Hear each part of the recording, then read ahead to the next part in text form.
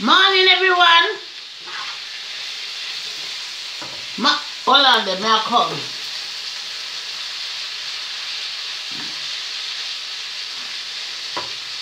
Morning, everyone. Ah!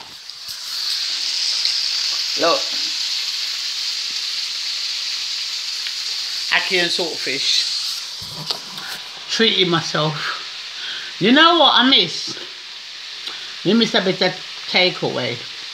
So this Friday, I'm going to treat myself to a pizza because the man down the road is open, but you can't go in and just make it to the stand by the door.